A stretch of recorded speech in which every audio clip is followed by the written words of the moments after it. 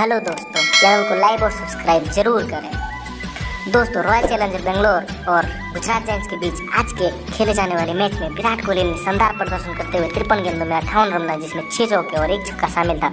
साथ ही रजत पाटीदार ने विराट कोहली का साथ निभाते हुए बावन रन की पारी खेली।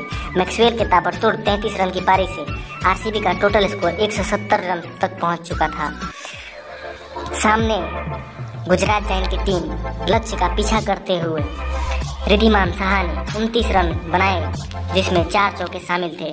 साथ ही सुमन गिल ने 28 गेंदों पे इकतीस रन बनाए, जिसमें तीन चौके और एक छक्के शामिल थे। मिलर के ताबड़तोड़ पारी से गुजरात जायंट्स ने वापसी किया और साथ ही तेवटिया ने फिर से एक शानदार विनिंग पारी खेलते हुए 25 गेंदों में तिरालीस रन बनाए, जिसमें पाँच चौके और दो छक्के शामिल थे।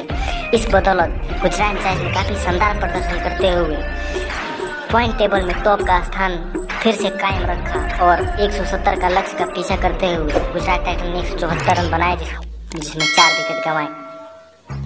और भी अच्छे वीडियो के लिए लाइक सब्सक्राइब और शेयर ज़रूर करें। साथ ही बेल आइकन का बटन दबाएँ।